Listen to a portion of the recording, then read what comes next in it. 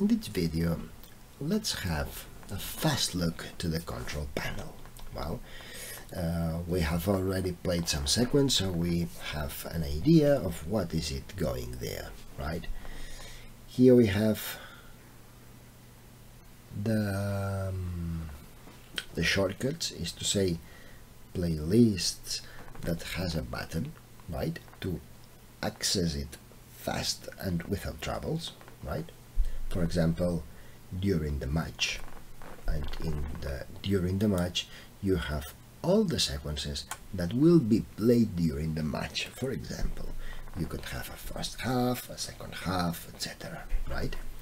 Here is the area of the quick actions.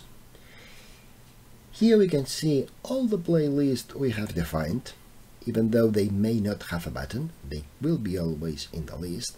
And when we select uh, one playlist, we see the sequences that are part of that playlist. Buttons for editing the sequences and playlist. A button for configuration of the brightness, right?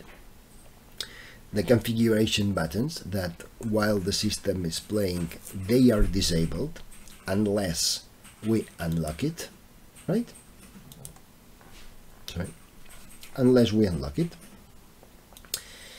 And we have also the chance to pause the, the current video or just stop completely the rendering of videos, right?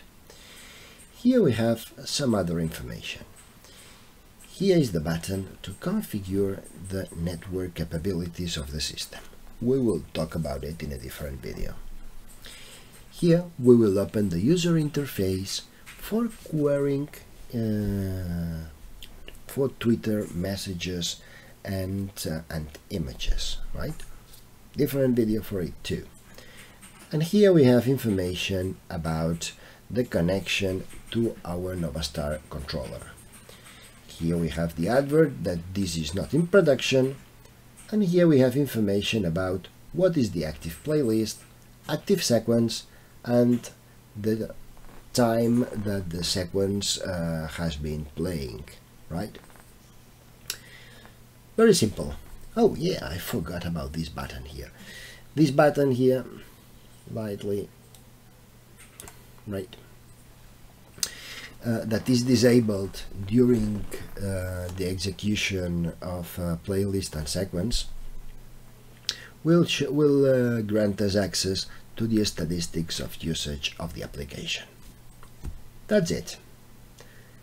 Thanks for watching. See you in the next.